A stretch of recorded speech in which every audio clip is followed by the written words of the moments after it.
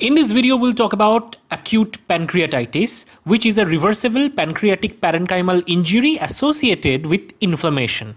In acute pancreatitis, there is a sudden onset of abdominal pain and abnormal elevation of pancreatic enzymes in the blood. The most common causes of acute pancreatitis is either alcohol abuse or gallstones. In this video, we are going to talk about the pathology in detail, so stay tuned till the end. So let me orient you to the pancreas anatomy first. Here is the pancreas, here is the head of the pancreas, here is the tail of the pancreas and it kind of uh, touch the duodenum. Here is the gallbladder, liver and the stomach just for your reference. The pancreas plays vital role in terms of digestion. It secretes several digestive enzymes and many hormones. In acute pancreatitis, there is inflammation of the portions of the pancreas which lead to problems. In a moment, we would, we would try to understand how the pancreatic function is abrogated due to these lesions.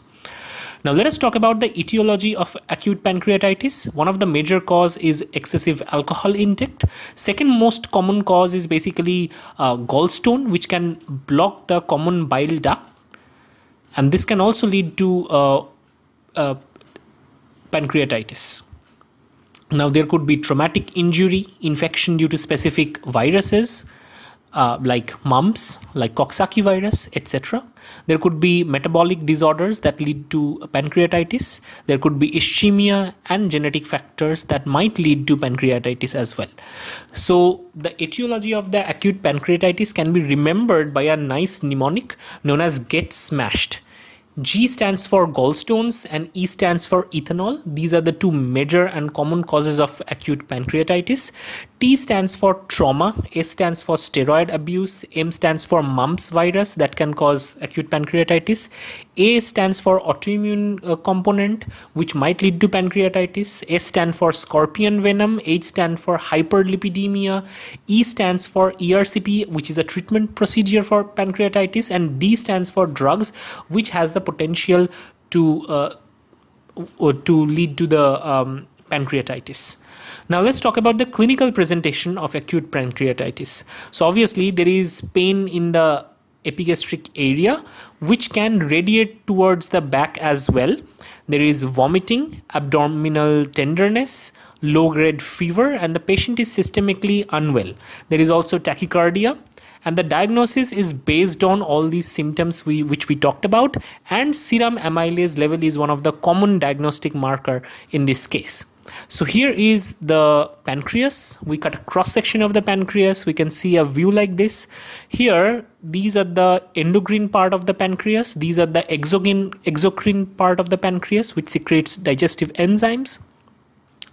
Now, within the exocrine part, there are pancreatic acini. These acinar cells secrete several digestive enzymes, which goes to the pancreatic acinar duct and gets collected and released into the proper portion of the uh, proper portion of the digestive tract. Now there are zymogen granules which are present in these acinar cells and all these enzymes which are supposed to be used for digestion are secreted in a premature or in an inactive format. Now, pancreatic juice contains majorly water, but 2% of that is also enzyme. And these enzymes are pancreatic amylase, lipase, uh, phospholipase, trypsinogen, chymotrypsinogen, uh, carboxypeptidase, and basically procollagenase. Remember, all of these uh, enzymes, trypsinogen, uh, which would give rise to trypsin, chymotrypsinogen, which would give rise to uh, chymotrypsin, are released in an inactive format. And that uh, ensures that there is no damage with the within the internal cellular machinery. So all these things are collected in the uh, acini and insulin glucagon somatostatin can be secreted by the endocrine part of the pancreas. Now pancreatic amylase has normal function of breaking down polysaccharides into monosaccharides and normally the, the these pancreatic amylase is secreted into or within these uh, acinar system. But in acute pancreatitis, when there is damage of these acinar cells, the enzymes are released into the near vicinity, which can possibly damage the overall uh, components of the pancreas.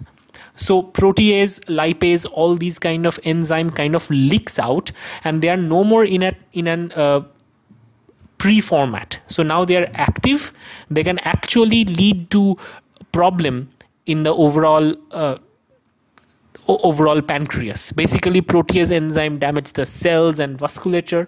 Lipase enzyme can also lead to fatty necrosis of the pancreas. You can ensure you can understand that each of the cells have plasma membrane, and if there is lipase, they would obviously damage the membrane of the cells.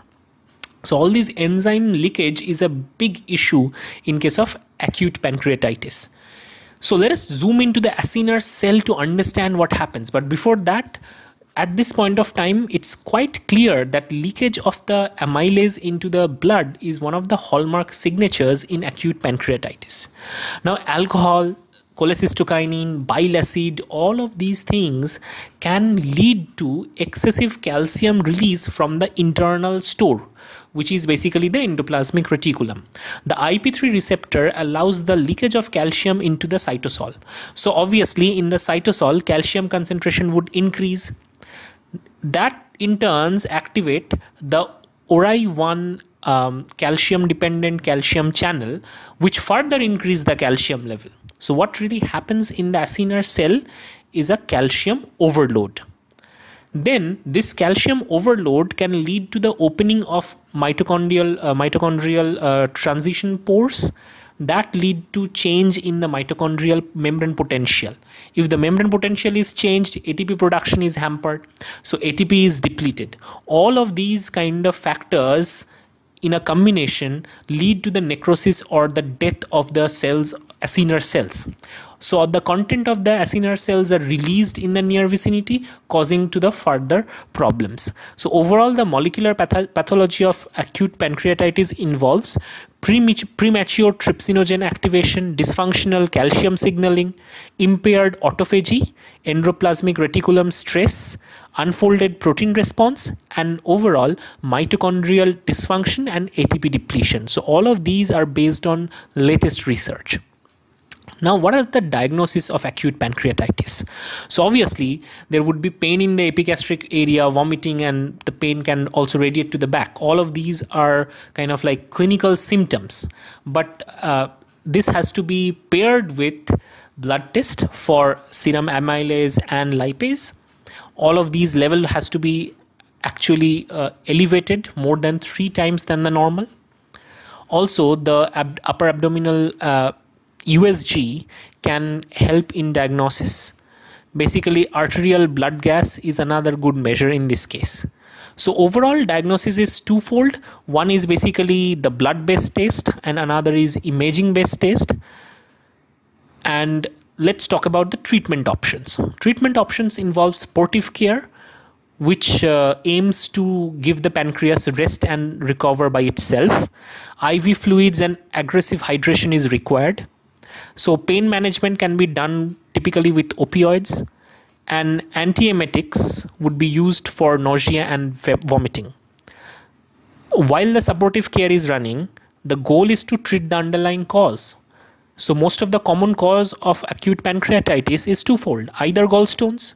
So gallstones can be treated with the help of the um, ERCP procedure and basically alcohol intake is another problem. So reduction of alcohol intake is another kind of like treating the root cause.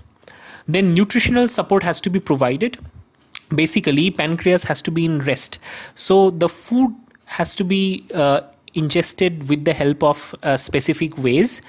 So there are enteral feeding paradigms which are preferred over uh, so there are uh, other feeding paradigms which can be used called parenteral uh, mode of feeding uh, which basically put the nutrient into the blood. Whereas enteral feeding kind of like um, put the food in terms of a catheter to the portions uh, downstream to the pancreas such that the pancreas pancreas doesn't has to perform its job and it has its rest to uh, perform all the recovery kind of functions. So this is how acute pancreatitis can be managed and it is treatable based on the situation. But if it goes to chronic pancreatitis, that has bad implications. So I hope this video is helpful. If you like this video, give it a quick thumbs up. Uh, don't forget to like, share, and subscribe. Go to our Facebook page or Instagram page to get more of these notes and flashcards. Links are provided in the description. You can support our channel using super thanks. Your small support is our motivation to make more and more such contents. See you in next video.